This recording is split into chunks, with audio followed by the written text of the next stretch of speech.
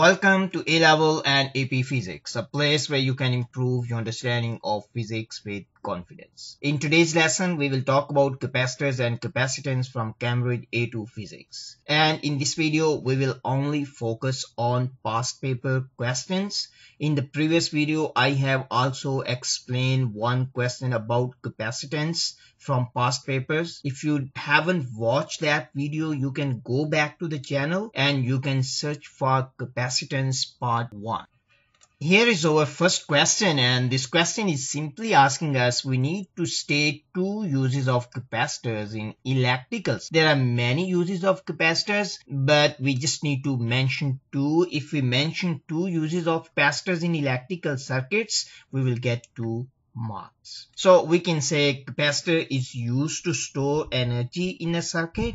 Capacitor is also used to block DC and also we use capacitors in timing circuits. So these if you mention you will get full marks. So here is how you can write your answer. Here is part B and for part B it is given to us that the combined capacitance between terminals A and B is equal to 4 microfarads and there are two identical capacitors and their capacitance is C and we need to find the value of their capacitance means we need to find the value of C as it is given in this question. We need to find the value of C means the capacitance of capacitor C we need to find. Now how we can find out this one is a quite straightforward one. It is just based on principle of capacitors in parallel and in series. First of all, as you can see here, we have two capacitors connected here and these two capacitors are connected in parallel. So their capacitance simply we can find that one will be equal to the combined capacitance will be equal to 6 microfarads. Now we have three capacitors now. Let me redraw this circuit. Uh, you can see here we have three capacitors now and we need to find the value of C. This capacitor has capacitance C and this has capacitance C and this capacitor has capacitance equal to 6 microfarad. And the total capacitance of this setup is also given that is equal to 4 microfarads. We need to find the capacitance C. Uh, so how we can find out? So they are connected in series. So for series, we can find out 1 over C total has to be equal to 1 over C1 and this is just opposite to resistors in parallel. So this is the formula we need to use. Now as the C total means the total capacitance is given to us that is equal to 1 over 4 microfarads and 1 over C plus 1 over C and plus 1 over 6 microfarads. Now we need to just simplify this one. So one way to simplify this one is uh, we can say 1 over 4. I will not write down microfarad and we can subtract 1 over 6 and this one will be equal to if we combine these two we will get that will be equal to 2 over c.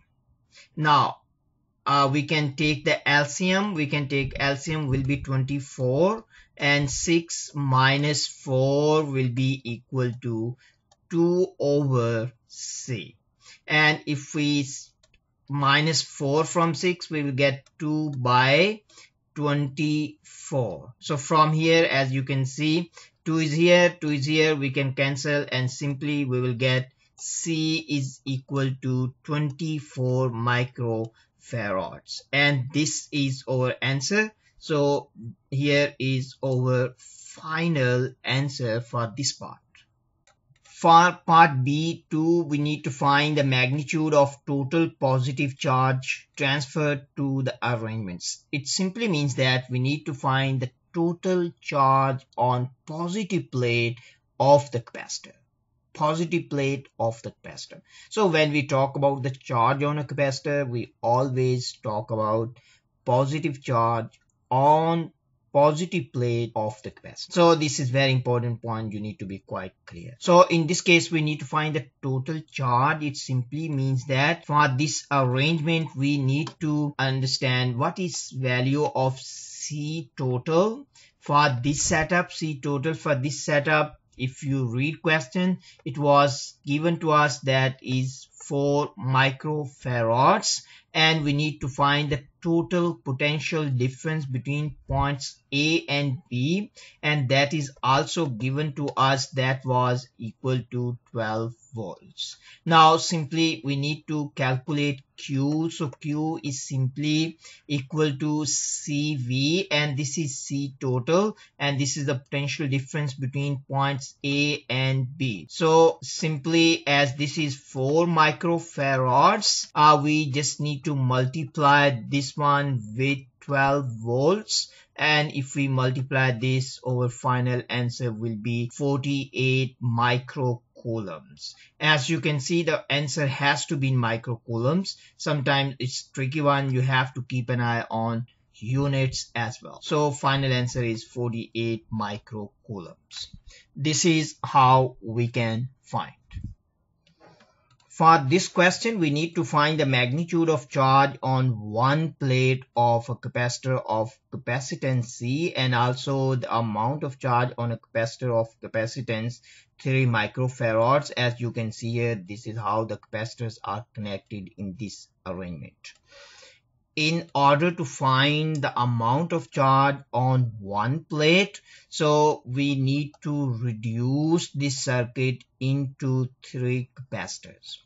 And so as these two capacitors, they are connected in parallel, we can replace with one capacitor with capacitance 6 microfarad. So we can redraw this circuit. So if we redraw this circuit, it will look like this. It will look like this. So this is terminal A and this one is terminal B. This is capacitor C, capacitor C and this capacitor has capacitance equal to 6 microfarad uh, we can also connect a battery here so you can easily understand what is happening now as you can see here the total amount of charge we have already calculated in this setup and these capacitors now they are connected in series. It means each plate has the same amount of charge. So the amount of charge on this plate is equal to 48 microcoulombs but this is positive charge. So this plate has net charge 48 microcoulomb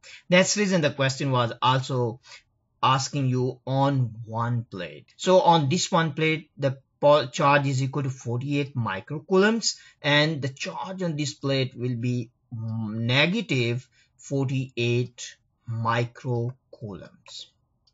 And so we can write here. And on this plate will be positive charge because these electron they will repel electron from this plate. So due to lack of electron they will be net positive charge. And this plate will gain net negative charge. This plate will gain net positive charge.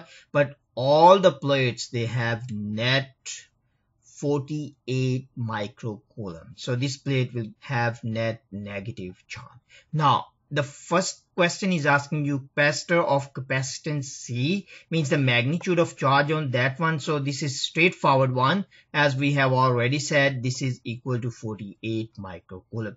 Very easy to find. But the confusing part for many students is this one, how to find the magnitude of charge on 3 microfarads. So let me explain you first of all one point. Maybe that will be very helpful for you. Let's say this is we have a big capacitor. Its capacitance is 6 microfarad.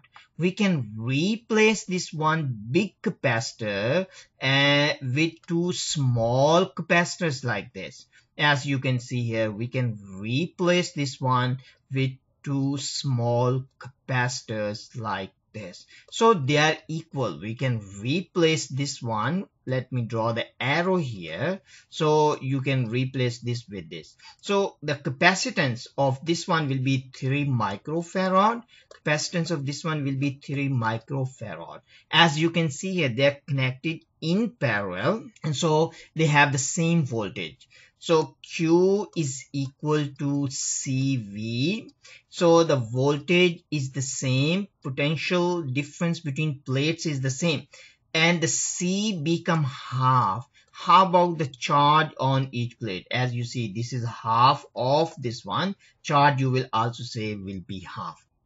So the charge on each plate will be equal to q by 2 simply we can say q by 2 or we can say will be equal to 24 microcoulombs and also the charge on each plate of the second capacitor also will be equal to 24 micro coulombs. In this case, we are only talking about charge on one plate. But if you take the charge on two plates of capacitor, net charge will be equal to zero because plates have equal amount of charge, but charge is opposite. So our final answer will be 48 microcoulombs on uh, capacitor C and 24 microcoulombs on 3 microfarad capacitor.